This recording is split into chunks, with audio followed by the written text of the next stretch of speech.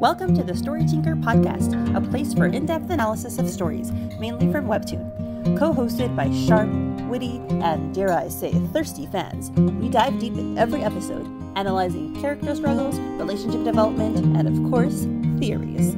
We also interview people working in creative industries. You can follow The Story Tinker on YouTube, podcast platforms, and social media. For bonus content, sneak peeks, and more, you can support The Story Tinker on Patreon. We're really appreciative of your likes, subscribes, follows, comments, and ratings on all platforms. Thanks for listening to The Story Tinker, and let's get started. Now, hi everyone, and welcome to episode 108 of Purple Hyacinth Strained Survivors. And it is the third episode that was released all in one shot for the season three premiere so easy. I loved being able to fast pass. Like I never, um, Mindy knows that I I used to not fast pass and stuff. So like this is my first time really like getting into like the fast pass for Purple Hyacinth, and I was just like zooming through these, and it's just like, oh my god, like. So I just love no, that. Like binging method. six episodes was just. I was I was shocked that it was going to be six. I thought it was going to. I thought it was going to be like four. Yeah. Because that's what it was last. Nope, 6 Mm-hmm. It was awesome. We were blessed. Yeah. And I think I, as I mentioned it before, like I joined, I started reading Purple Hyacinth after season two already started. So I only read one at a time. So this was great. I mean, except for obviously when I took caught up, but once they were released, I only went one at a time. So it was so cool to get sex. Yeah, so we continue where we left off, where Lauren and Kieran are trying to get out of the burning building. They're stumbling they're um, Kieran is being supported by Lauren. I don't know how they're walking, but somehow they are. Their force of will, adrenaline. Yeah, otherwise they'll be run to a crisp. So I guess they really don't have much. If, if, a, if a mom can lift a car off of her baby in the heat of the moment, maybe they're just like, get out. Like they're just so hopped up on like the um what is the word? It's not hormones, the adrenaline. Like, it's like adrenaline, but it's like uh there's I don't know, the word's not, I'm not gonna get it. But it's yeah, it's all those like chemicals in their brain that is just like telling them, like keeping them standing. Mm-hmm. Yep. So um, I believe Kieran is saying the tunnel entrance is end of the corridor. And you we know called it. Yeah, tunnel theory at last. Oh, and um, it's just the same people who were in the finale, minus Food, who's not here with us. But yeah, we were talking about that. True, right? so yeah, they their their whole speech throughout this whole episode is punctuated. It's like very it's staccato. It's um it's it's broken off. They're clearly having trouble speaking. You know, they, they sometimes like omit words. I know when I'm tired, I don't bother saying a full sentence. I just say like fridge or water, you know, like so they're they're having trouble talking and they finally you know reach the end of the corridor they open the door and um yeah this is the there's some greenery. This is the tunnel that kieran spotted earlier. So um yeah they clang it shut and now they're in the tunnel and it's kind of like a has a, a domed top an arch top. They're walking through it. It looks like there's um like a conduit for water on the bottom Probably something um, connected to the sewer system that they just kind of retrofitted for their own use. Yeah. I mean, I don't imagine that most people don't like go down into the sewers very often. So they could probably yeah. walk around down there mostly without notice. And if you'll remember, remember what I talked about um little 38, I think, with I mean um the Batman, the man who mm-hmm. the man who laughs. He uses the sewer system. Mm. Yeah, he goes under the sewer system and uses that. Um, so that was, I thought, the parallel. So yeah, sewer system. I'm pretty sure this is it. mm. So, sorry. So yeah, they're tapping through it. They're kind of it's black. They're bloody and whatever. And then Kieran sees some holes in the wall. He says, "Here." He presses it, and the door opens. So first I was like, "Oh, how does he know this?" But then he kind of explains himself, right? He pulls the lever shut, and the door closes he says that, um, and Lauren asks him, like, do you know where this leads? And again, they're looking awful. They're dripping sweat and all puffing. And he says, not exactly, but the tunnels usually connect to hideouts or other sewers. Look at the arrows on the wall. So basically, it seems like he has some knowledge of the way the tunnels should work. And that's how he was able to see, like, okay, those, you know, holes meant something. meant that, that you could open the door. But oh, these poor like the codes on the wall to like who whoever knows it and who needs it can use it. Yeah, ugh, and they, they look awful. They look just like completely look terrible. I mean, I'm shocked that they don't look worse, honestly. Like they were holding a bomb. Like, I mean, they seem they they're definitely not in good shape, but I'm I mean I'm surprised that they don't have like it doesn't seem like they have any like big burn scars, which is I mean it's good because those are like very permanent. Mm. Yeah, no, Yeah. I was wondering like no burns. Also, like how can they hair anything? Because boom, could have popped their eardrums, oh, whatever. But like, she can hair lies. Maybe humans in this world are, have a bit more fortification. I don't know. yeah, that's a good point. How long after an explosion does your hearing go away? My brother was in the Marines, and I asked him. I have I don't hear out of my left ear anymore, so you know it's like kind of always comes up. And I think he mentioned something like when you're in Marines, like because you're you know you're.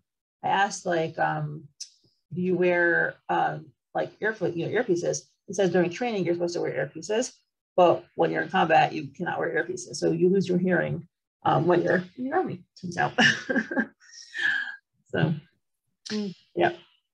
Uh, and by the way, he has never spoken to us about combat, so I have no idea what he actually saw. As far as I know, he might have just been a guard, but whatever. Anyway, um, I'm kind of too whipped out to ask him too. Um, so yeah, so he says, look at the arrows on the wall on his E sign. He says, we'll follow that east. My apartment's in that direction. Which I'm like, first of all, I have a very bad sense of direction, but like, wow, Kieran, I cannot believe you remember and you can even think about that at this moment.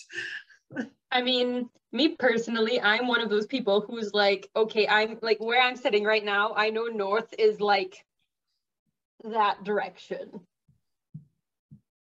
Uh, Right, just because I know my orientation, I know like how where I'm sitting, like on a map, top down, how that looks, and like east is that way, west is that way, south is like that way ish. Like I always kind of have to like I need to know where I am spatially, or like I usually have a good idea of where I am spatially. I'm I'm really good with directions as well. Like I once I figured out how to navigate the city, I was like, okay, I'm good. Like I could kind of know which ways are certain things and like make my way there. I'm impressed. I'm not like That's that. just me personally. My friend used to call me when she first got her license to um help navigate her places that she should have been able to know how to get to. But I was I was like, yeah, sure, I'll take us, even though I didn't know how to drive it. I was like, I have to turn this way, go straight, see that right, go. Like so I am, yeah, duly impressed. I'm Yeah, not you're good at navigating in the slightest. I don't. I think I know the general direction that north is in, but it could be what I think is west. I don't even. I don't even know. friend, the same friend who I would navigate, she used to say north is wherever she's facing. Like that's just Right. north for her. Right. She's like that. Yeah. That's how I feel. I have to think about it because I think I, I think that if I thought about it for like a couple of minutes, I know how to get onto the highway that goes 278 east. So I think once I think about that, I would be able to orient myself. No, not really, because it turns on before it goes east. So I have no idea. I don't know. Never mind. Um, I think I do. Anyway, whatever.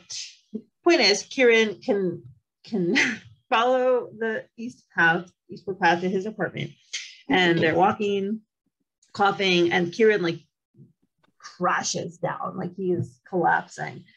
And Lauren basically is just like pulling him along at this point and just grimacing because she's dragging him essentially. I'm like, oh my God. I wonder who has it worse because like Lauren has lost a lot more blood than Kieran because she got shot and probably that arm probably hurts a lot, but also because Kieran got beaten like less than a week before this. He's probably not good either. And I don't know if maybe he got like more of the brunt of the explosion because he was out. Lauren was the first one to come to, so maybe he got like more hit by it. I don't know. It's like wondering these things. I mean, it Yeah. seems probably Kieran got it worse just because he's normally good at powering through stuff. I mean, like, you know, he went to work the day after getting beaten up. Like, he's normally pretty good at powering through stuff. If you can't power through this, like, it's probably really bad. Mm. Yep. So, but believe it or not, they, you know, this pothole opens and they emerge through it. I don't know how they hoisted themselves up out of it. I guess it was a ladder, but you know, she's pulling Kieran out. He's again like literally collapsing all the time, and they are staggering towards his apartment. And miraculously, they actually reach it. Which I again, this was in terms of like we discussed a little bit last episode, 107 that we just recorded. Um, timing, where it's like a lot of the fandom, I think, expected the the suspense to last longer and like the uh the wondering are they dead? Are they alive? Are they gonna be okay? What's up with them to be longer? But like they reach safety pretty fast. Like yeah they're all beat up and like they're alive and they reach his apartment in like one episode. So i was a bit i was a i was surprised at that. I don't know if you guys were. I mean, I personally, surprised. I'm glad.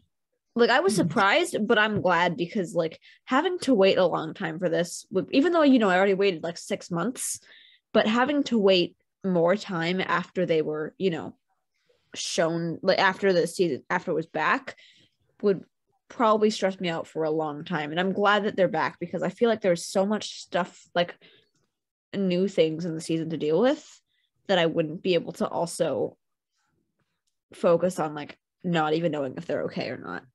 Yeah, Mm. I agree. I feel like it was fast and I like I expected it to be like I made a list of like the things I'm most afraid of happening. Like they get maimed, they like lose limbs, like all these other things, right? Lucas dies, like but like then just it looks like everybody's getting out and like everything and then they're immediately back at his apartment by like the first like within like basically an episode's worth of time and it's just like huh so in a way i was like my expectations were like played with but i don't think that's necessarily a bad thing.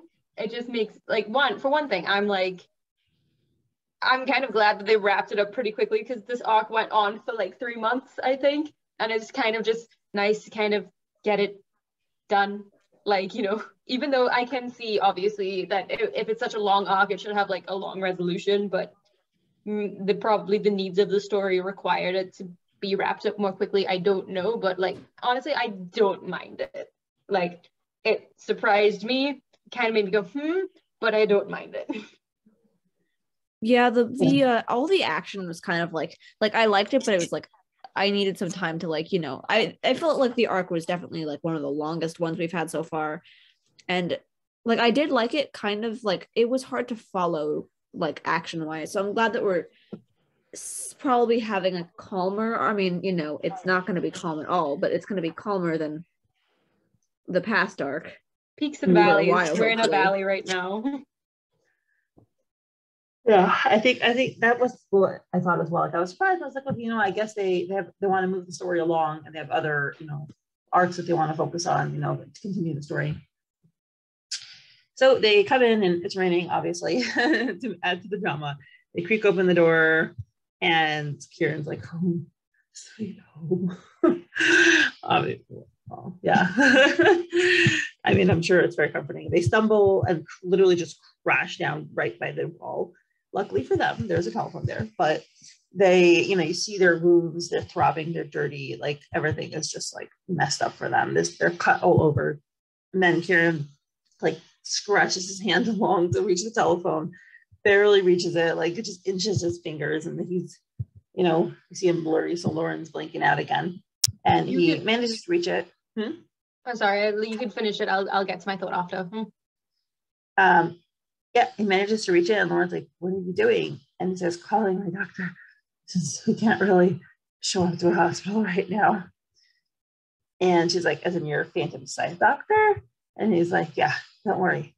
He knows better than to talk about you." And then, do you want to? I don't know. Yeah, yeah say your um, thought later.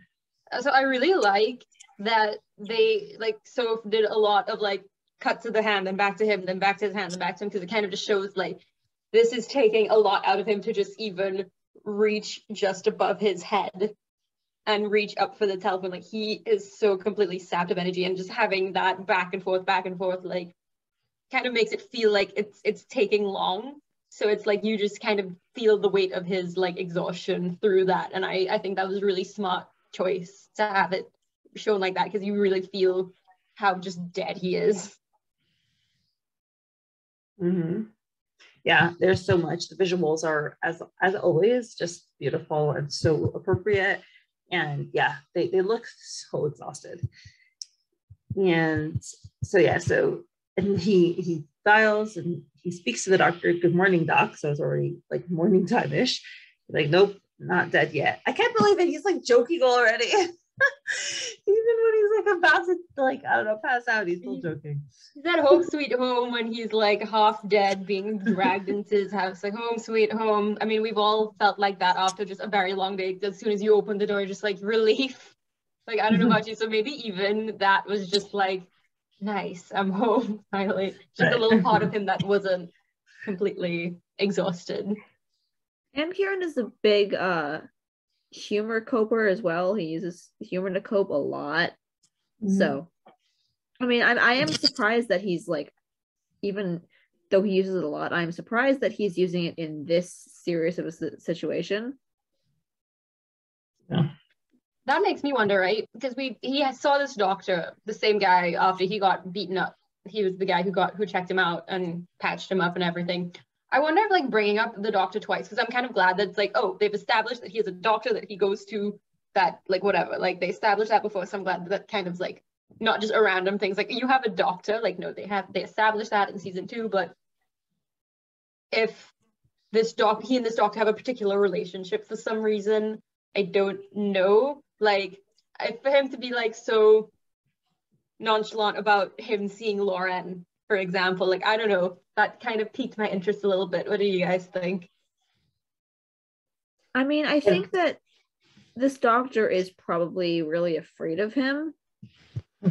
I mean, he did say like he knows better than to talk about Lauren. So like I assume he's probably afraid of Kieran. I mean, anyone in the Phantom Scythe would be. But yeah, like, I wonder what Kieran has on him, maybe. Ooh it's really hmm. interesting because like yeah it seems like he seems so much more like he's got a different type of joking with like because we've seen how he talks to Phantom Scythe members. He has a different type of like joking with them than he does with people that he's like you know lauren or like more like people in the apd and stuff like that. He's got different types of like humor. And it's interesting because he seems to be using the not like persona one he's using like his actual yeah. like his he's actually joking like you know.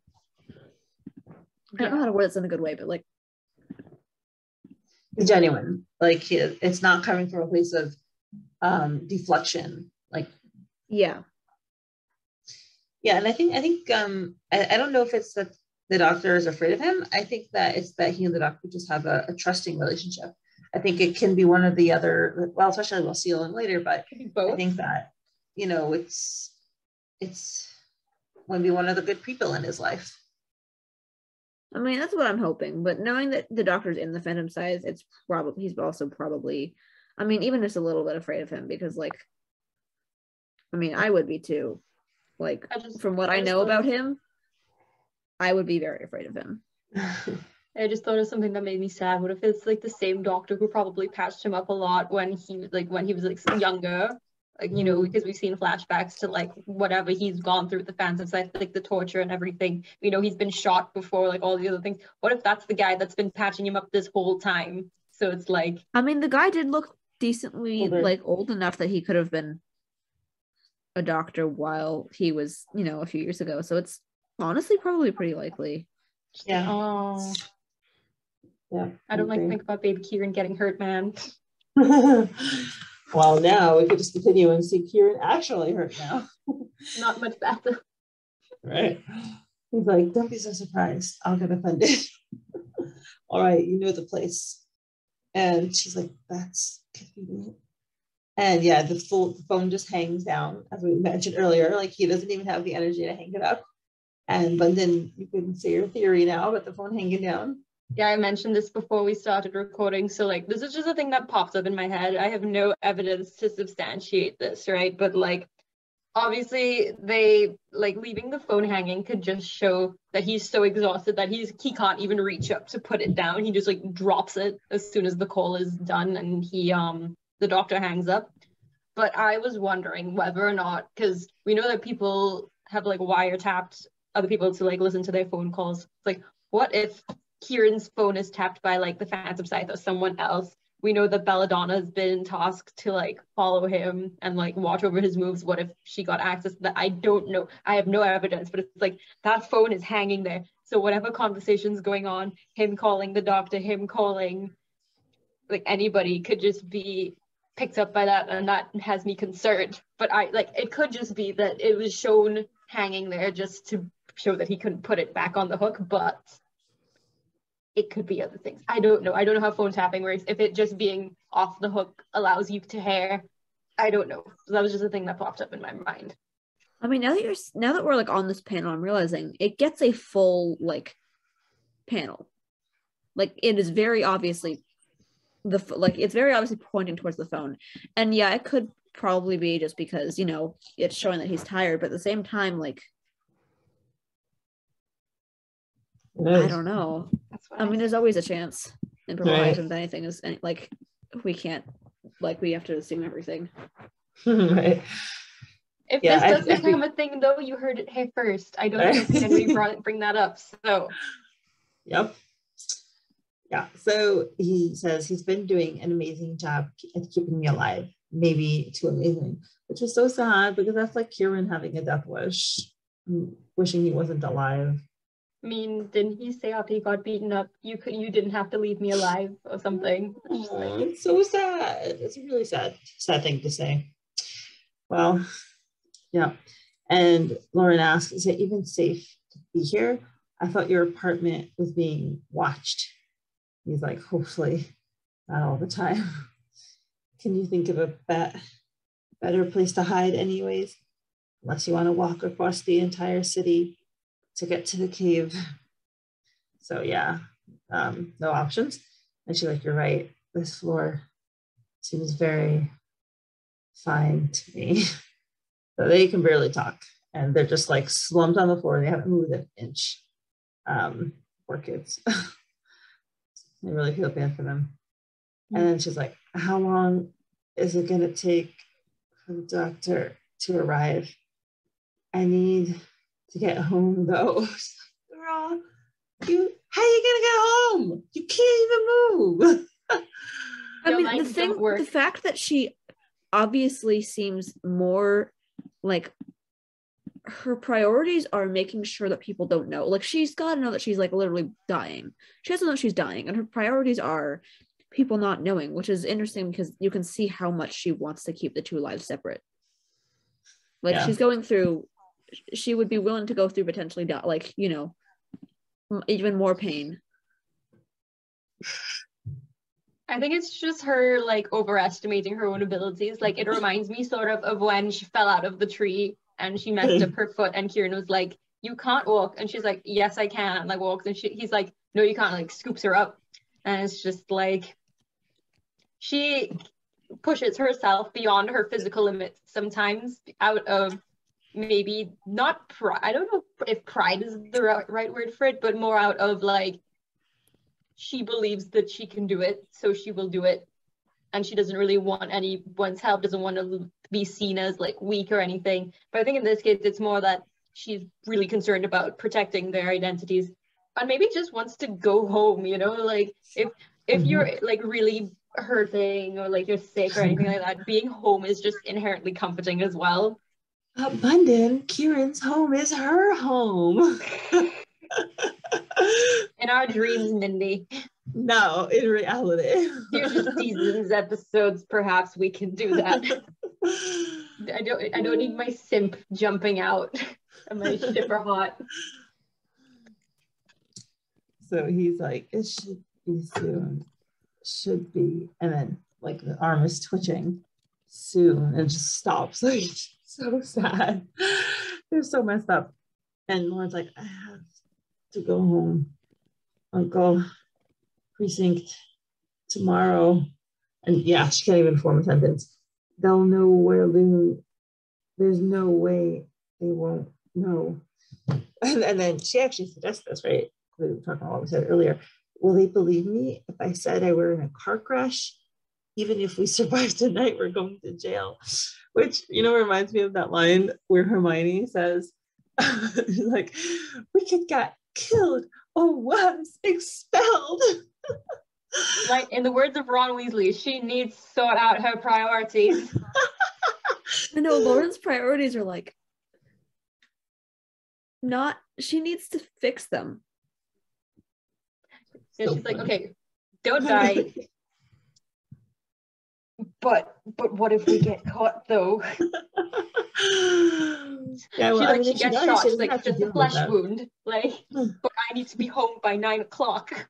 I don't know. I feel like not dying is at least for me much more of a priority than you know being arrested. Yeah. It's like your hierarchy of needs, you know, the pyramid thing, and it's like you know, base like her them like being alive. That's like the base thing for living, like you know, food, water, all that. Her getting caught is maybe like the thing at the tip of the pyramid, just the little thing. You need to sort out your base first. Uh, well, I think if, if she's dead, she doesn't have to worry about anything. So anyway, there, you know, there's a hazy vision, there's no response. And then Lauren asks Kieran, why does the purple hyacinth never use a gun?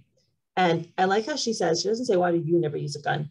I think it's because she understands that the purple hyacinth is a persona that he puts on, and she does not identify that as him. She realizes that, that there's a Kieran beneath that persona and that purple hyacinth is kind of either something that's forced into which we know that or you know it's an act and she recognizes that there is a separate Kieran that's not the purple hyacinth. I think is so profound and beautiful of her to say that.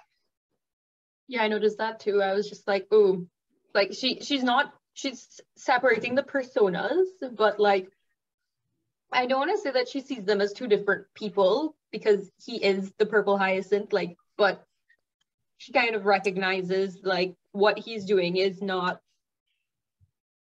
like you know it's not out of like evil or like anything. It's something deeper. I think ever since her talk with sandman about like his daughter being killed but him being like she would be dead anyways and like do you think that he leaves those flowers as a threat? And she's like no and that kind of like mm-hmm. solidifies it in her head i think so if i think from that point onward from like when she forgave him in 93 that it's been we have Kieran, and then when he's and then there's when he's purple hyacinth, but he's not the purple hyacinth.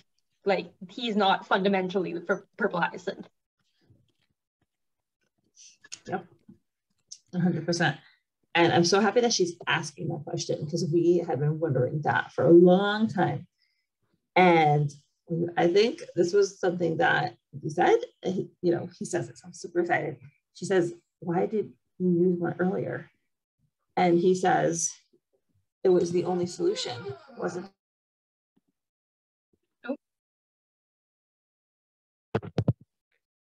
to protect the people that I saw dancing, laughing. When I got to that, I started crying. I just had to take a break to start crying because, like, especially because he put, like, especially because Kim is in there it means that he must still like he knows how much how important Kim is to Lauren and knows that Kim that Lauren would want to protect Kim and so therefore Kim is important to him and it's just like I feel like Kim I mean Kim probably thinks of everyone as her friends but like I think that she probably lumps Kieran into her friend group at this point and it's just God I just started crying at this part yeah it's very, very beautiful.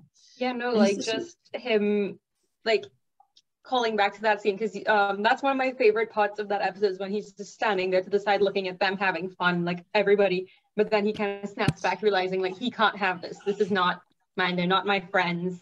I promised I wouldn't do this, like all that stuff.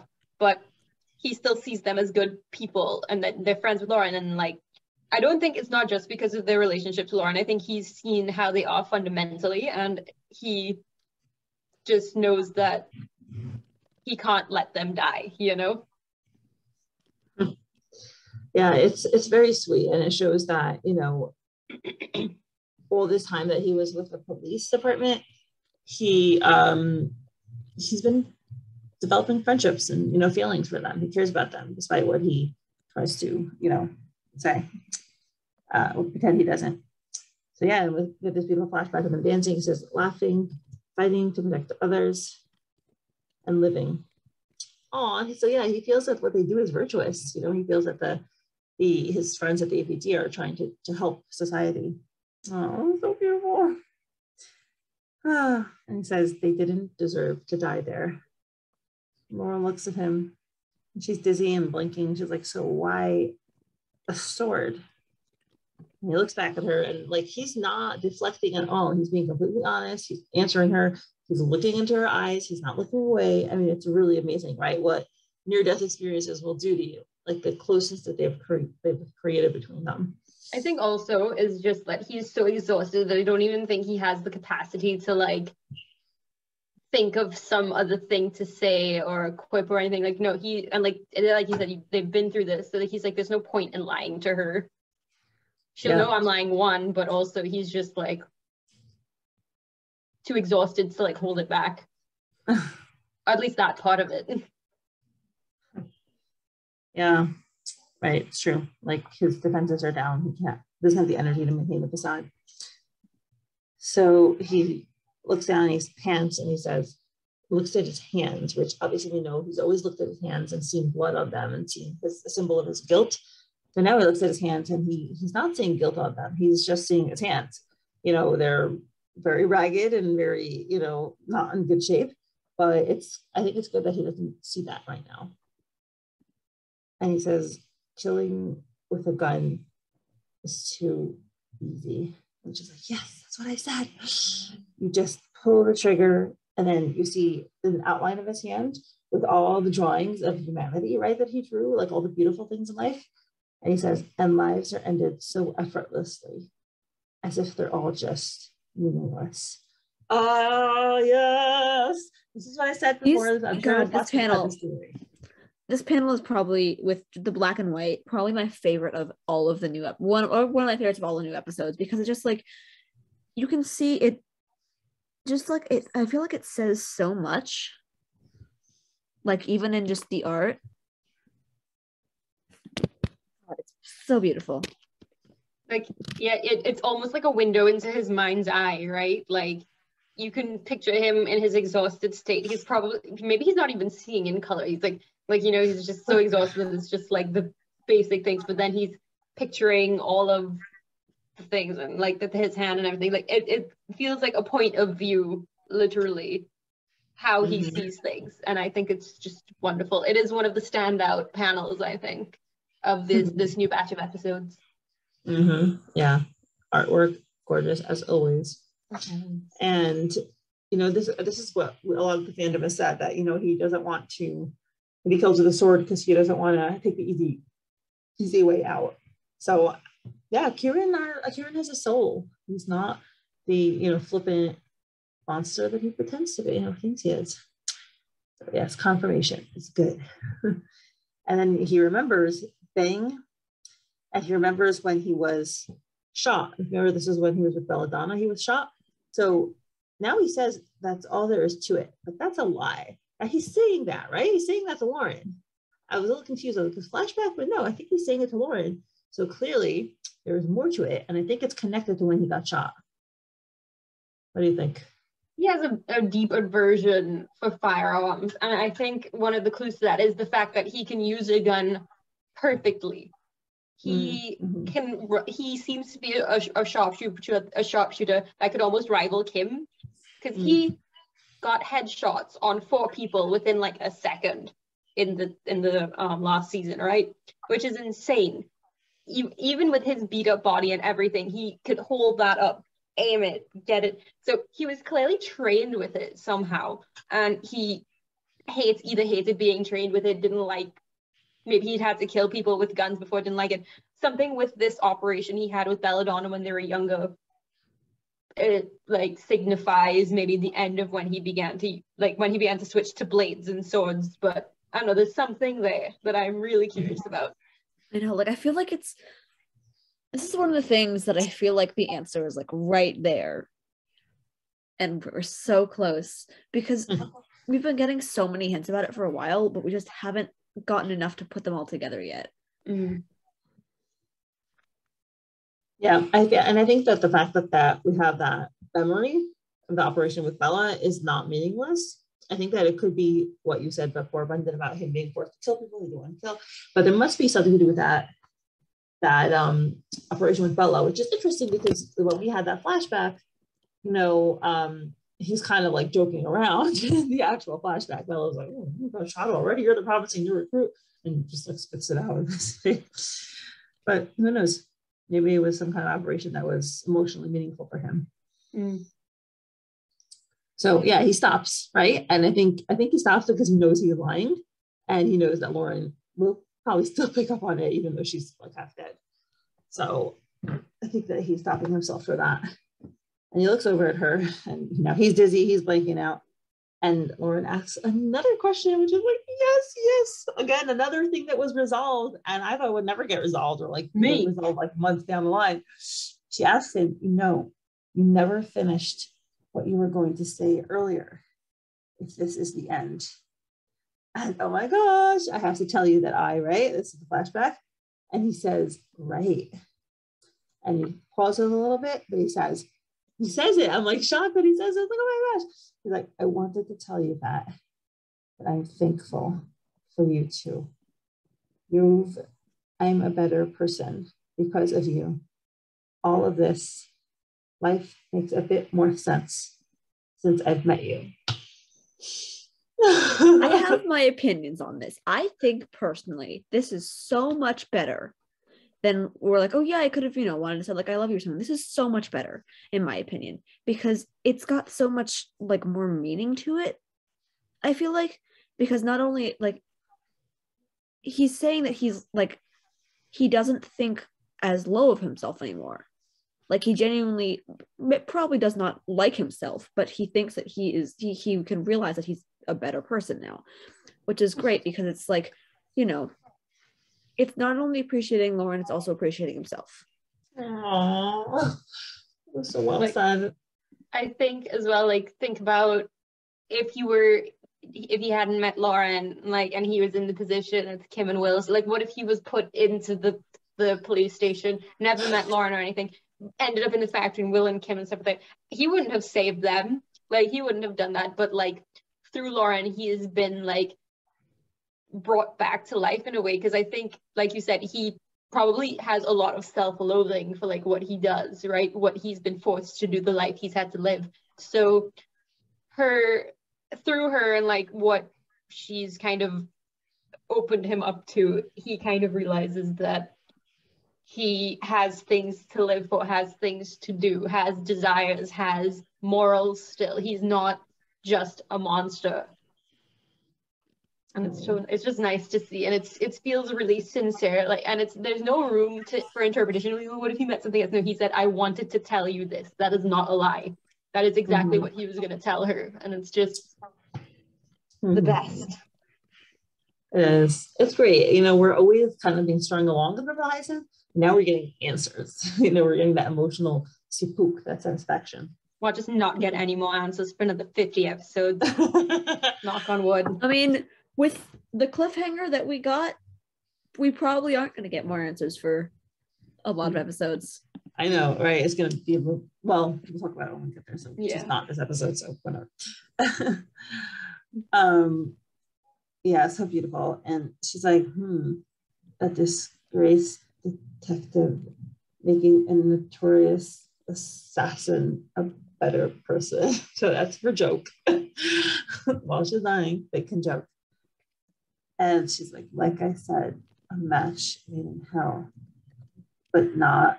And then this drop of water falls down, and she thinks in her head, a bad one. But never really gets to say it. We see, you know, we focus on Kieran now, and then suddenly it like whites out behind him. And there's um like oh, we hear a paff sound, and we see just her head kind of going down, and Kieran looks over, his eyes widen, and boom, she has like fainted apparently. You know, her, she has no more eyes, and that's that. And he's like, Lauren. I have fainted for less, I will say. So Yeah. well done for holding up this long, Lauren. No, good on her. Like I would have, but I would not have made like I would not have been able to carry a grown man all the way like you know multiple blocks no i'd be i'd be done uh,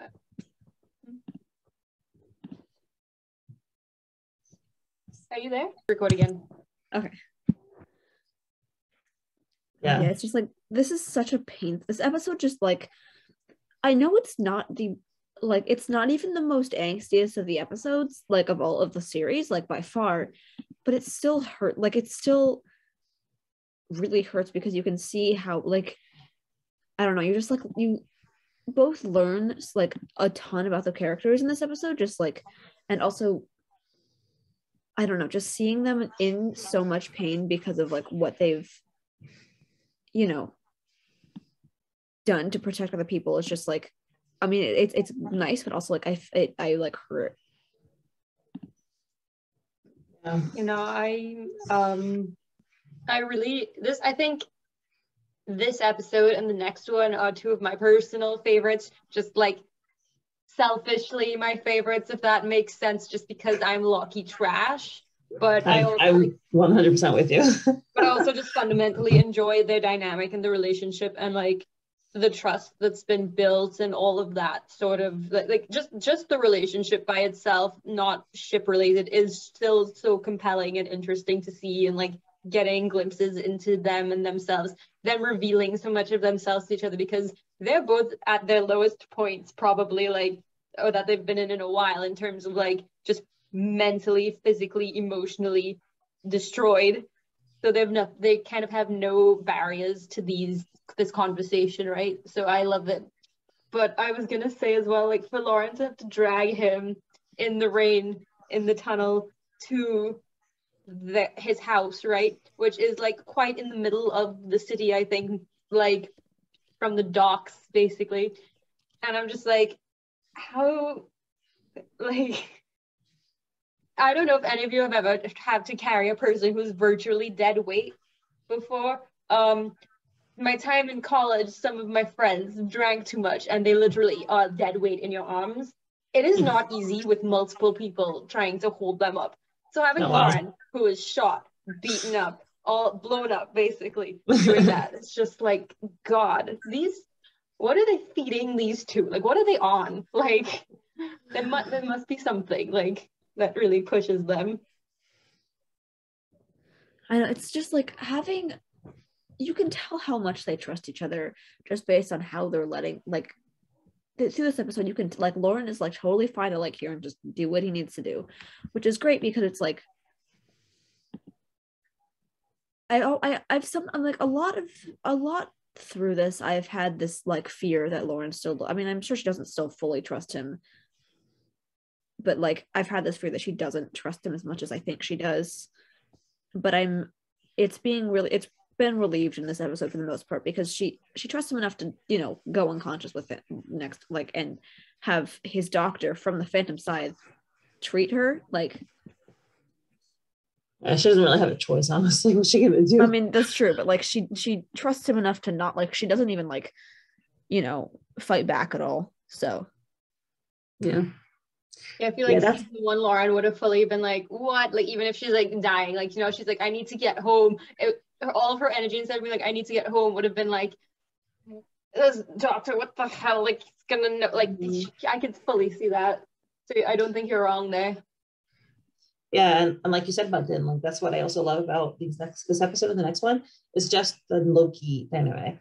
They're finally friends. They're finally like they're not like snickering or joking or antagonistic. They're just like having a relationship, a normal relationship. As normal normal. as they could get.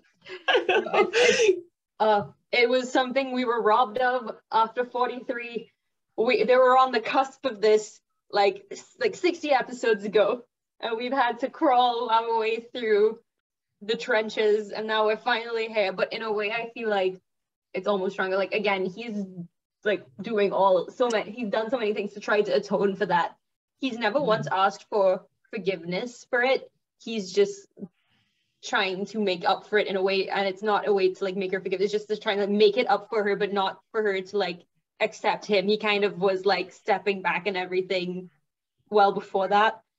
But I think at this point they're just like you are the only person who fully understands like the scope of everything that's going on. He like like he's the only person who knows this part of her life, which is a huge part of her life. And like there's only a few things he doesn't know about. Like he doesn't know about Dylan and maybe a couple other things, but she is her, her, her number one confidant at this point. Even more so than Kim, because Kim doesn't know anything at this point. So Mm-hmm. and then him, she's the only person. He's she's just his only friend basically. He's had in years. So I don't know. I just I just appreciate it a lot. Yeah, this episode is just Yeah. like such a beautiful episode. I love it. Mm-hmm. You know, it fulfills all the soft things, you know, in your heart. Mm. And when I keep looking at your background because I'm just like, yes. oh, they're touching each other's faces so tenderly. Mm. You're, you're just trying to Hand movement. oh, No, so but it's sweet. uh it's one of my favorite relationships for sure. Like in anything, so I'm I really like seeing the progress, the trust, the, the the little things that we see are just really gratifying and just show so much character development, growth, all of that, and I just I love it. Beautiful.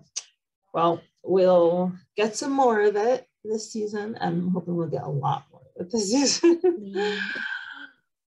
yep. Well, thank you so so much for joining Emma and Bundin. It was fantastic, and I will see you again another time, hopefully. Yeah, thank you for having Bye. us again. Thank you for having us. All right. Have a good night. Bye. Bye. Bye. Thank you so much to my current patrons Susie, Lady Libris, Lily, Jenny, Haley, Molly, Veronica, Emily, Emily, Jo, Rochelle, Saucy Puggles, Meg, Ann, Rose, Priya, Alexa, Misty, Laura, Joanne, Patty, and Milta Esther, and watching people Poppy Seed, Marie, Jen, Emily, Jean, Jen, Erin, D, Kay, Lily, Beckett, Miranda Christine, Sadie, Kelly, Daniel, Louisa, Mr. Gastaldo, and Kaylee. Your support is truly appreciated.